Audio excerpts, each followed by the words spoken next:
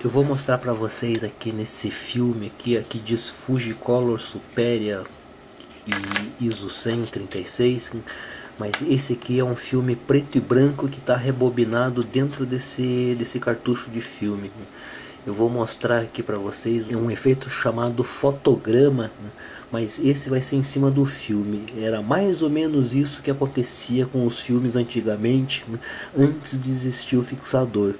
Eu vou ter que dar uma coladinha aqui no filme, que como ele já é antigo e está enrolado aqui, ele vai entortar o filme aqui. Eu vou deixar colado e vou deixar essa pecinha aqui em cima do filme para que a gente veja a ação da luz em cima da prata que está em cima desse filme aí, que é essa parte aqui que é a, a cinza clara, é a parte onde está a emulsão. Essa parte brilhante aqui é a parte protetora do filme. Eu vou deixar com a emulsão para cima, a gente já consegue ver que tem duas cores já. Isso é porque metade do filme estava para fora. E aí fica essa marquinha aqui porque já pegou mais luz nesse pedaço do que nesse. Eu vou colar ele aqui e vou deixar esse filme aqui parado por um tempo para gente ver qual é o efeito, para gente ver a ação da luz sobre esse filme aqui.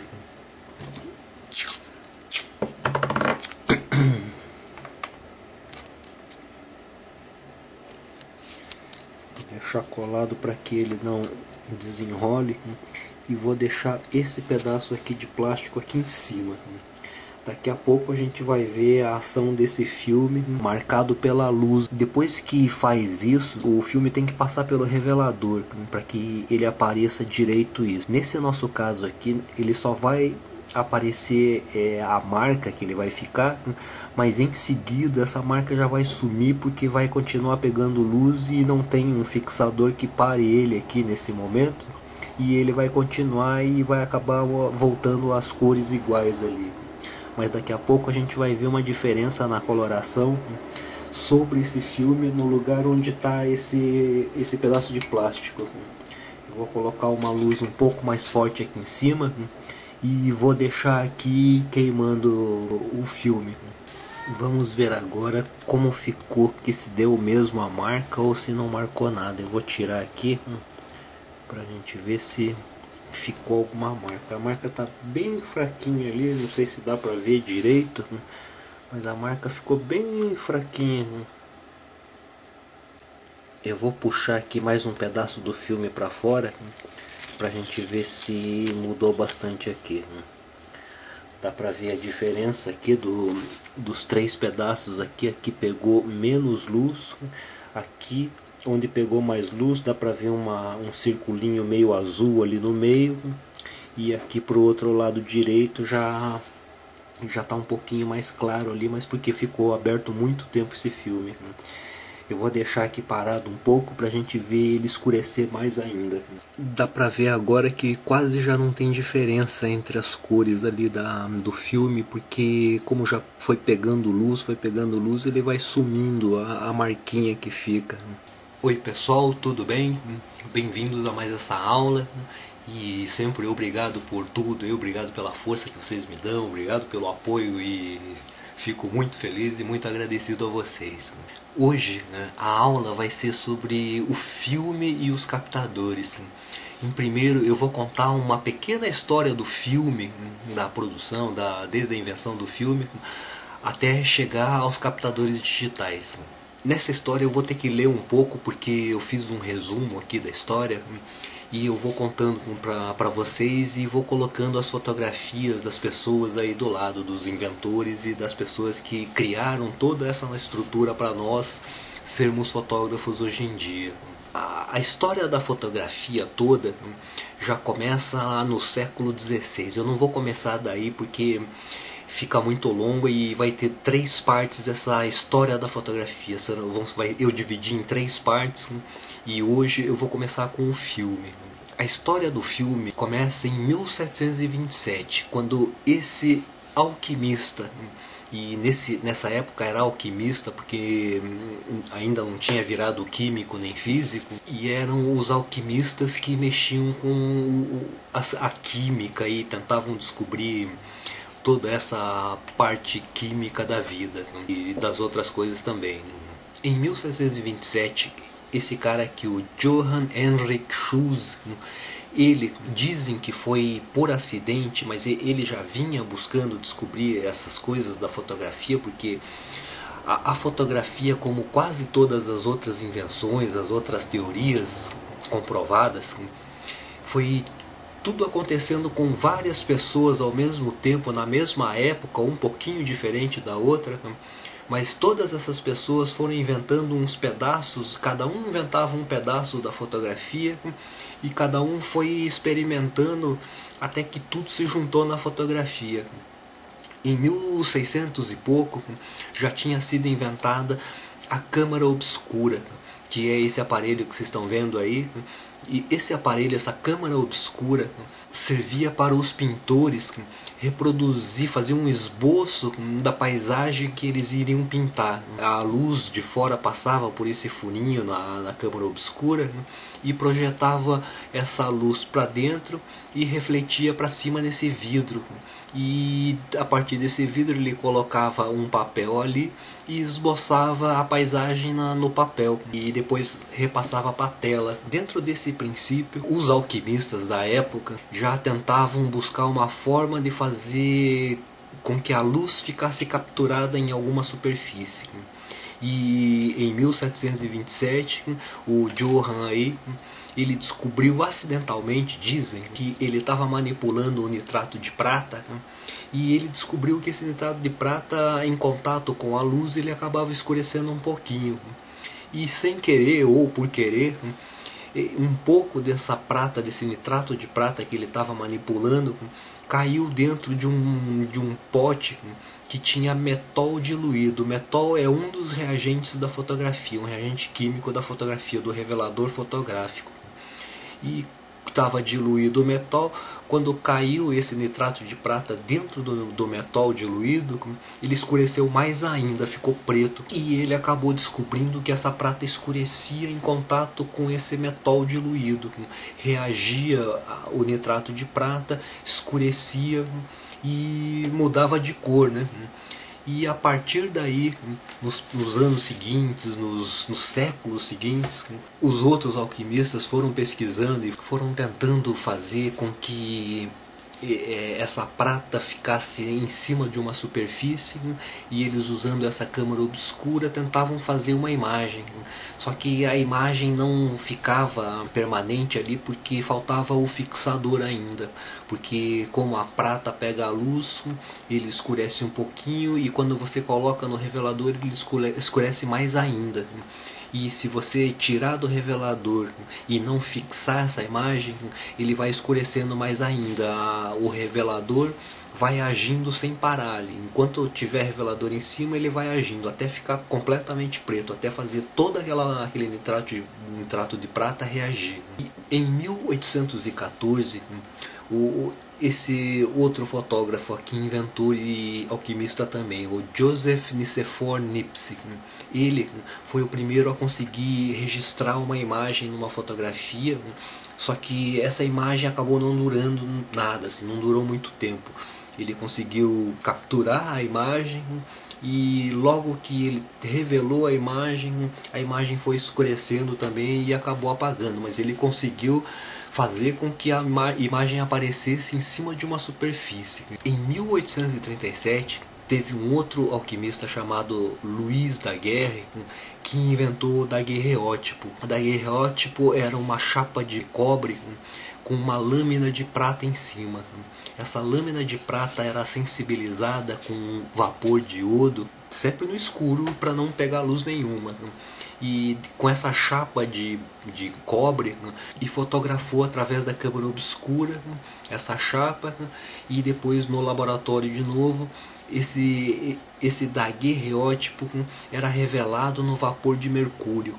E essa reação do iodo, do vapor do iodo, com a imagem latente que criava na, na chapa, esse vapor do mercúrio fazia com que as partes onde não tinham pego luz acabasse sendo lavado ali e tirava essas partes.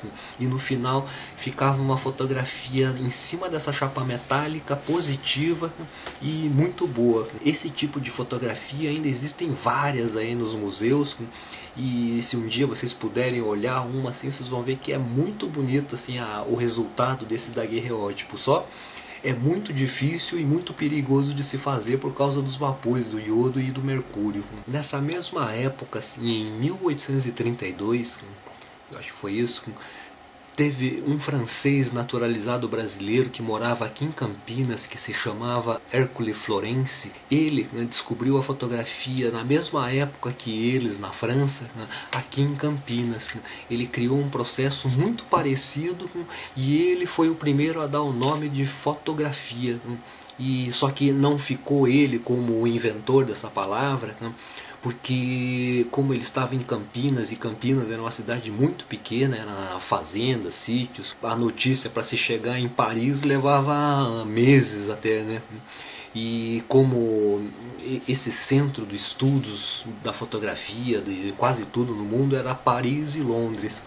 Então, nessa época, quem acabou ficando com o inventor da fotografia foi o Nipsey e quem foi colocado como que cunhou a palavra fotografia foi um inglês. Por volta de 1837, 38 por aí, o John Herschel foi ele que descobriu que o tio sulfato de sódio dissolvia o nitrato de prata.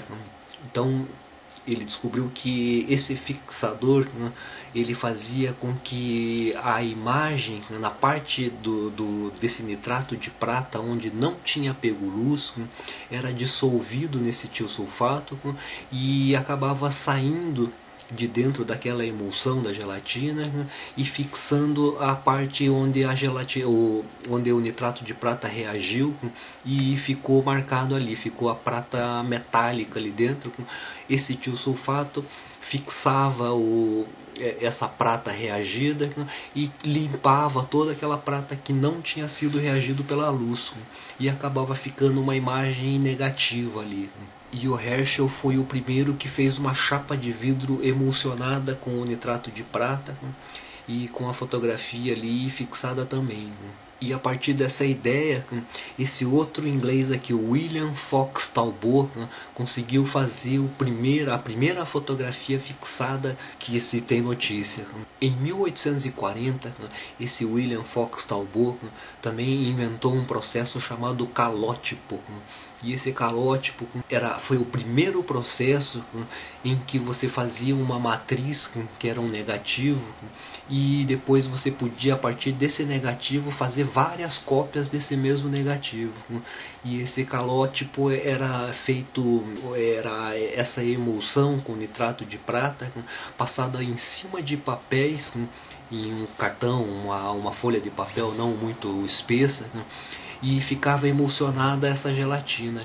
E a partir desse negativo você fazia por contato uma chapa de vidro em cima e luz que fazia esse processo do, da ampliação e fazia uma cópia positiva e você podia fazer quantas cópias quisesse com a partir desse negativo. George Eastman, a partir desse provavelmente em 1845 mais ou menos, George Eastman, que foi o fundador da Kodak, ele patenteou um processo parecido. Nessa mesma época, esse Hippolyte Bayard inventou um processo muito parecido com isso, mas como ele demorou muito para registrar esse processo, o George Eastman ficou como o inventor desse processo com esse um negativo parecido com o negativo da gente hoje em dia. Em 1851, esse outro inventor aqui, o Frederick Scott Archer, inventou um processo chamado por colódio, que só deixava o filme um pouco mais sensível. Então,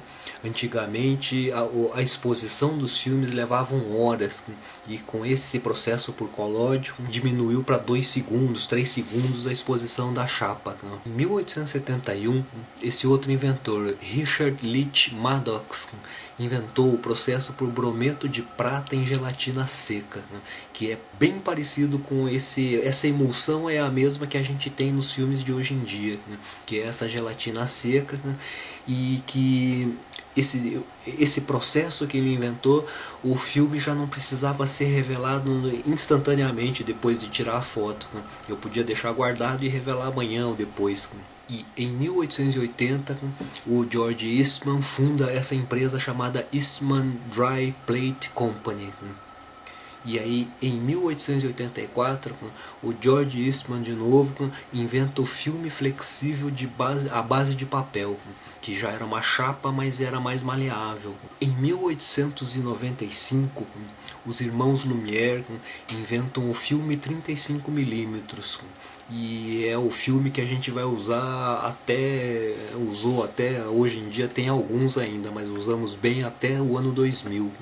Em 1898, o reverendo Hannibal Goodwin ele patenteia o primeiro filme fotográfico de celuloide né, que era esse que é esse filme que a gente conhece hoje em dia mas com o, o, de hoje em dia é um processo diferente nesse plástico aqui não é mais o celuloide mas é um tipo de um plástico parecido. Na virada do século, nos anos 1900 mais ou menos, a maioria das câmeras eram essas câmeras gigantescas e os filmes em chapas e chapas grandes ainda por cima. A partir de 1913, Oscar Barnack, que foi o inventor da câmera fotográfica 35mm, já começava a pesquisar uma câmera, não era uma câmera fotográfica, mas como ele trabalhava com isso, ele trabalhava na Ernest Lights, que é a fabricante da Leica, e ele inventou uma maquininha para testar filme de cinema e como o filme do cinema, a, a medida dele era 24 milímetros por 18 milímetros, ele dobrou esse tamanho, ele fez o 24 milímetros por 36 milímetros.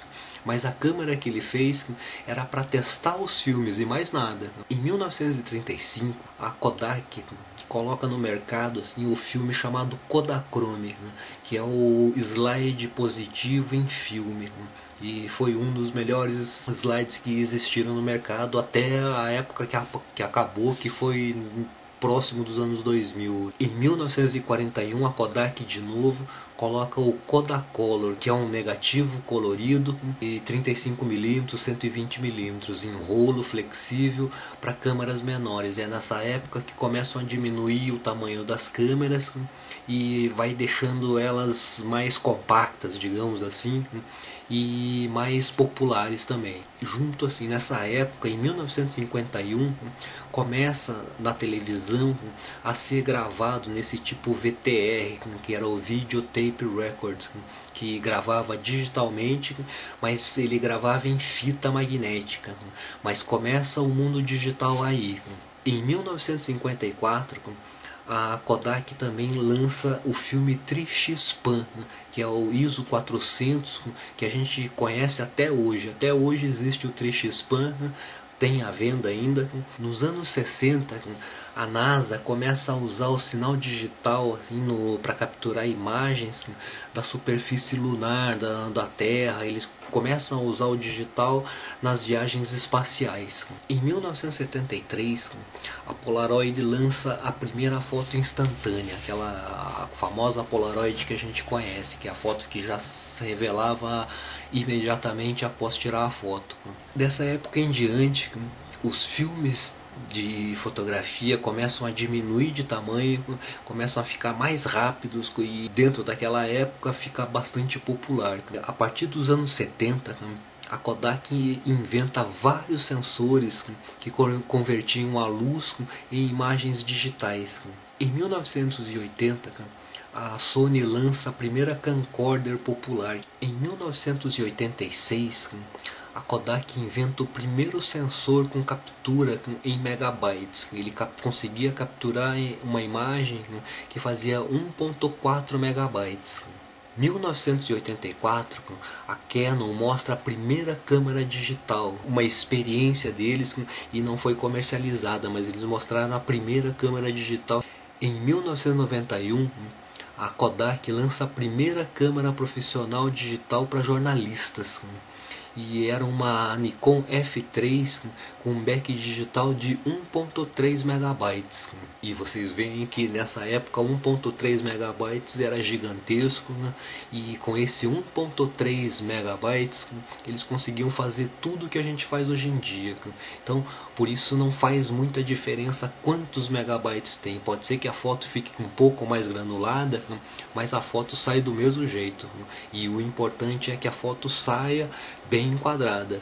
Em 96, numa numa operação conjunta, uma, uma união entre a Kodak, a Fuji, Konica, Agfa e os fabricantes de câmera Nikon, Canon, Pentax, Olympus e quase todas elas, elas se uniram e lançaram um produto novo, um filme novo chamado APS.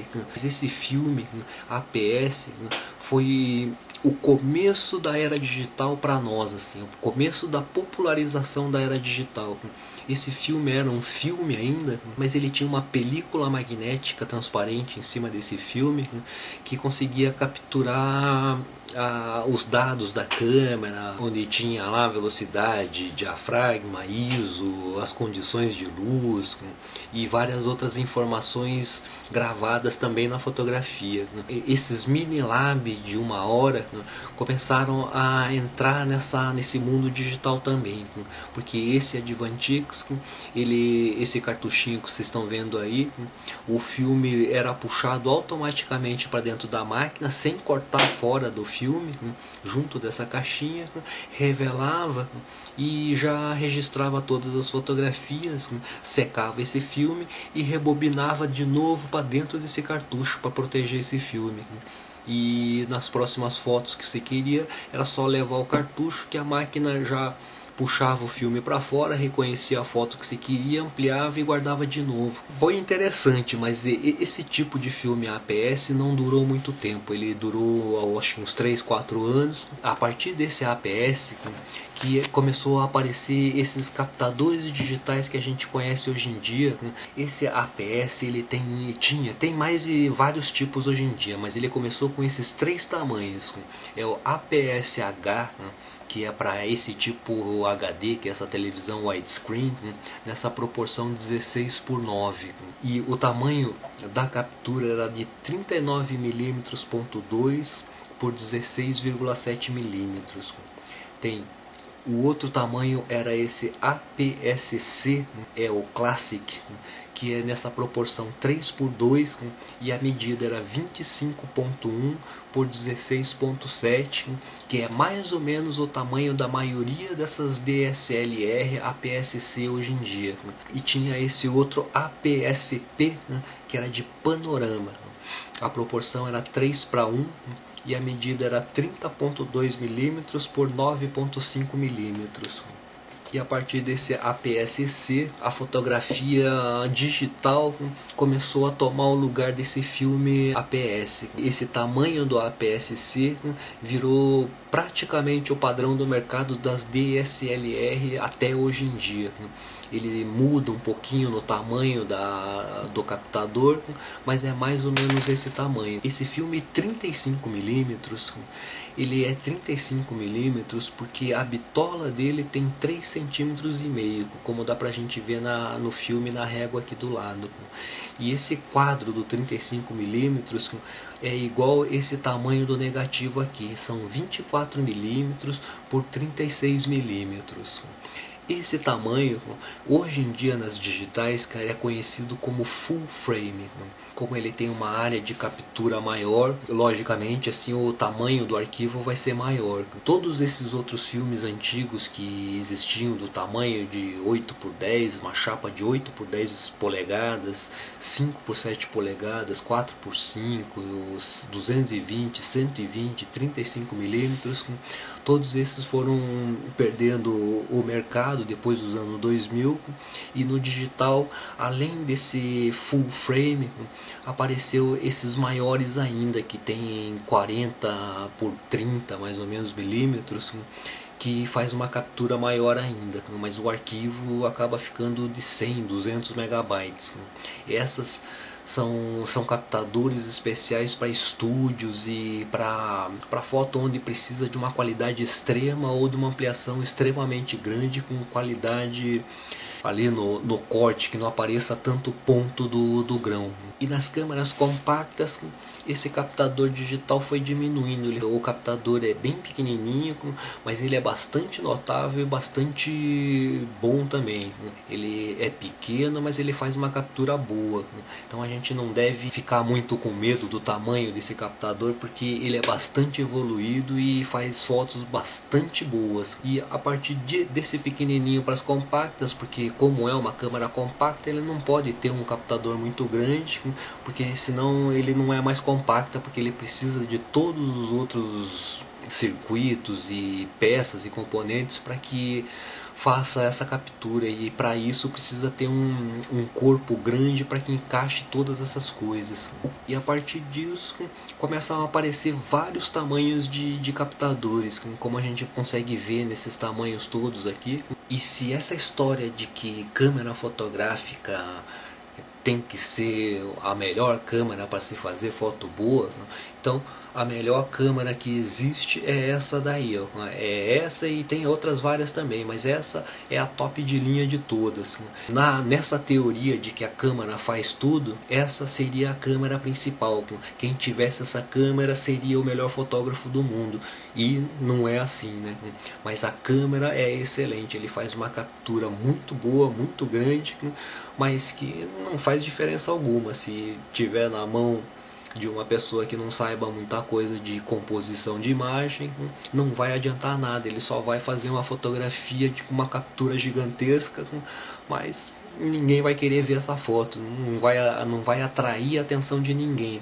Câmeras de captura muito grandes só servem para estúdio, para quem realmente precisa desse tipo de câmera. E tem gente que realmente, profissionais da fotografia, que realmente precisam de tudo isso, mas porque eles precisam e sabem como usar tudo isso.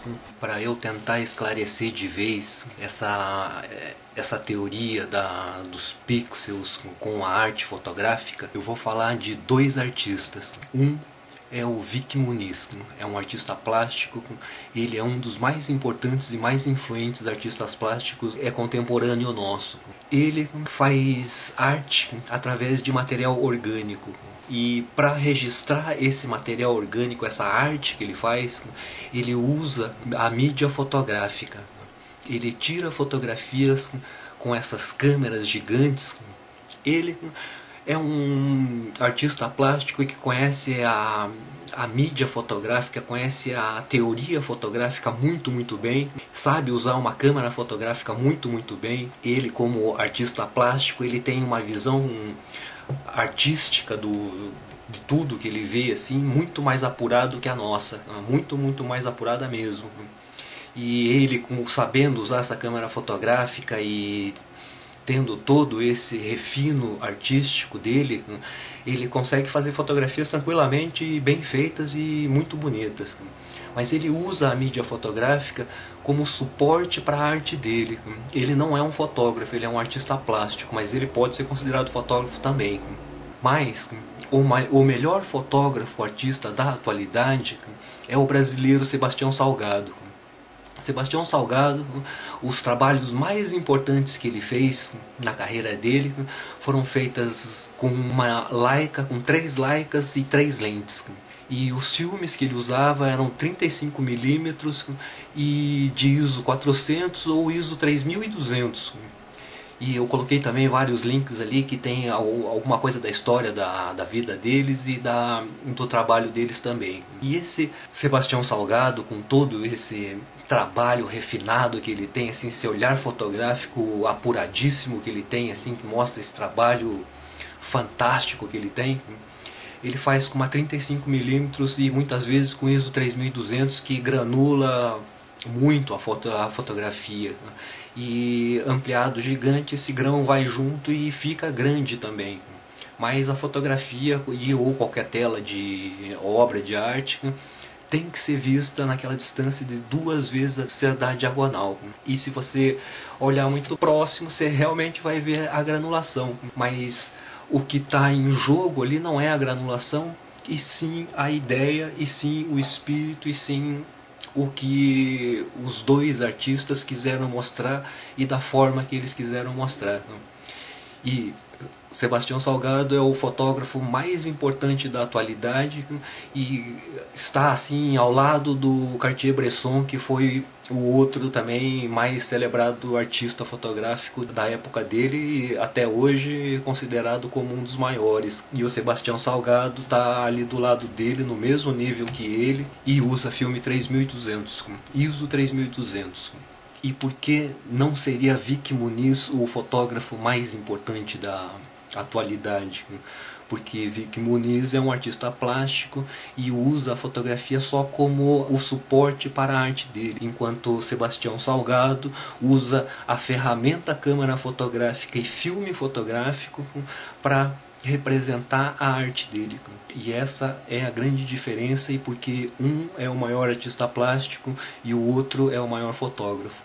E para os teóricos também da fotografia, o Ansel Adams, muito pouca gente conhecia ou já tinha ouvido falar dele antes desses vídeos. Ansel Adams foi o professor doutor em fotografia que escreveu os três livros mais importantes da fotografia.